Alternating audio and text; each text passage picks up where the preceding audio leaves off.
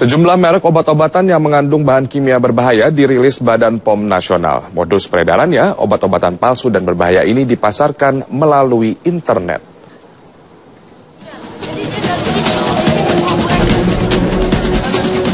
Para konsumen obat-obatan kini harus lebih waspada.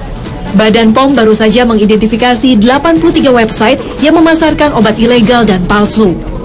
Operasi penjualannya dilakukan di empat sarana distribusi Tiga di antaranya berada di Jakarta dan satu di Yogyakarta.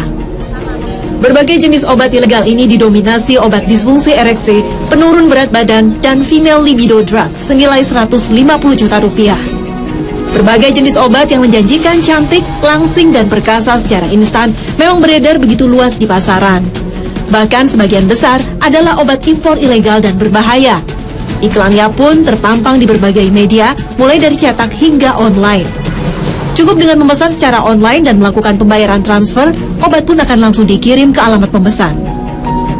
Konsumen pun harus cerdas. Produk luar negeri belum tentu menjanjikan kualitas prima.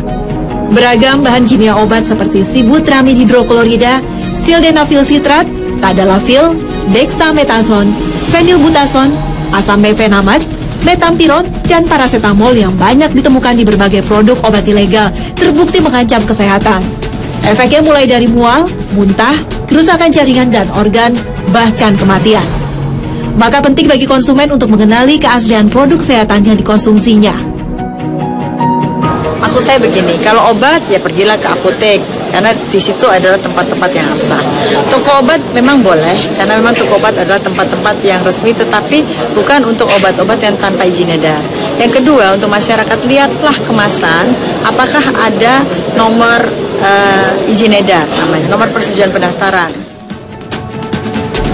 Operasi Pangia kelima yang digelar Badan POM bekerja sama dengan Interpol ini membuat dua orang penjual produk obat ilegal online telah ditahan Bares Krim Polri.